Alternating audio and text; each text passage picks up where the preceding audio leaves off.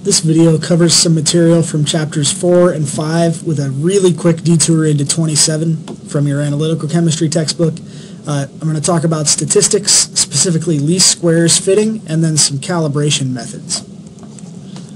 So, uh, least squares fitting is the process by which you take a data set and you fit a straight line to it.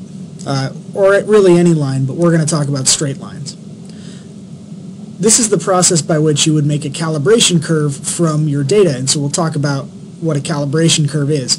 Uh, but basically, you're going to take uh, some sort of measurement at various analyte concentrations and get a signal, some instrument response.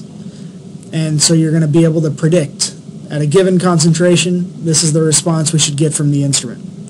The mathematical model you use to make that prediction is your calibration curve, and the way to create that model is called the method of least squares. So the model that we're going to use in this case for linear least squares is a straight line, so y equals mx plus b. In this case, x is going to be your independent variable, your concentration, and y will be your dependent variable, your instrument response. To do this, you make the assumption, typically, that the x values are known exactly, which are within a lot of confidence, uh, and all the errors are measurement errors in y. You're going to find the parameters m and b from the previous slide that describe the line. And the process of doing this, what either you could do by hand or what Excel does when you click Add Trend Line, is to minimize the sum of the squares of these things called residuals at each point, thus the term least squares. What a residual is, is the difference between the actual measured value and the value of the line at the same x value. Uh, so when you have when you make your data points or when you measure your data points, you get a little bit of scatter. And you're going to draw a line that minimizes the amount of scatter, the distance from each point to the line. Some points may be farther from the line than others, and that's okay. What matters is the total distance of all the points from the line, you know, at, at that point.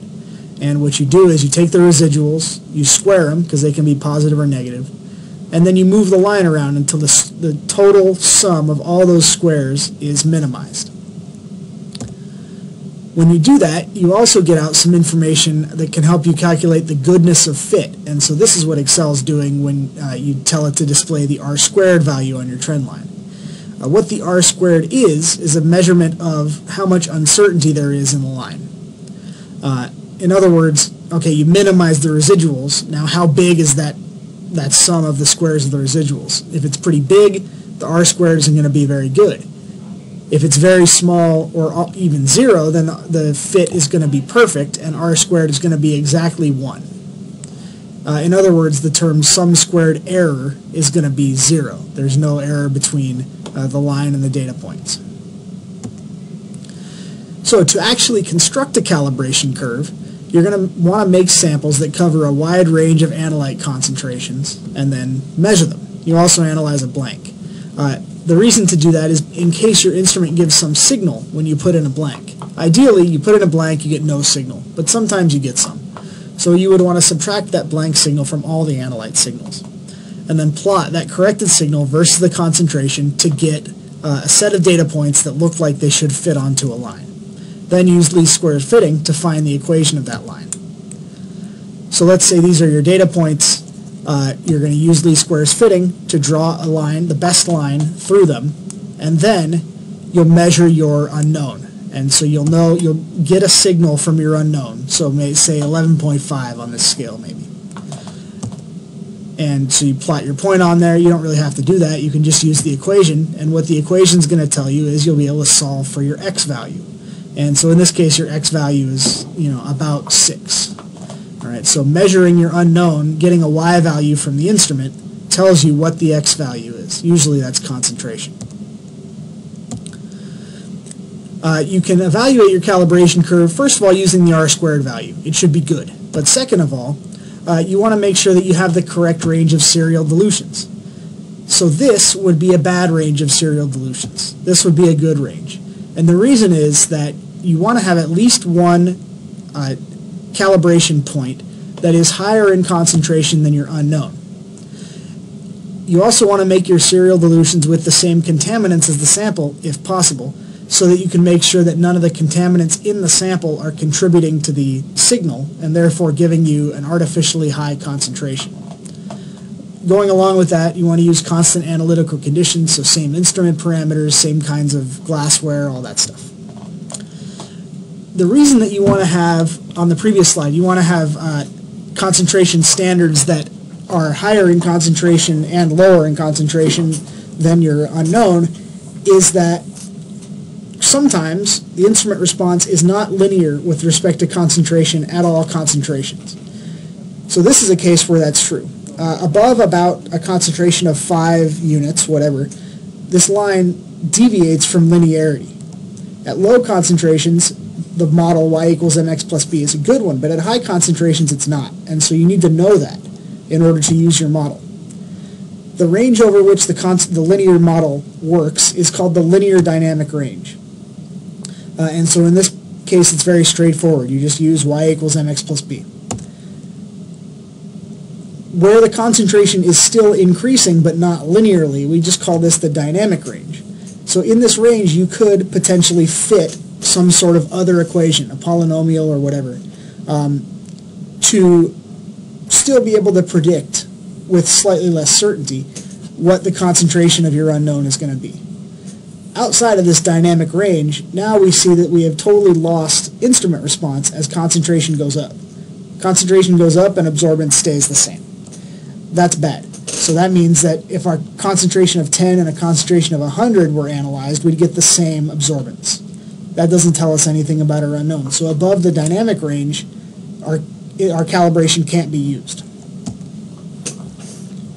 The process of making a calibration curve is essentially figuring out the k in this equation right here. So for any method that you want to use, you want to be able to relate signal and concentration with some proportionality constant. Call it k. Uh, for gravimetric methods, so weighing for titrations, this is very straightforward. Uh, it's pretty straightforward for a calibration curve and less so for other analytical methods.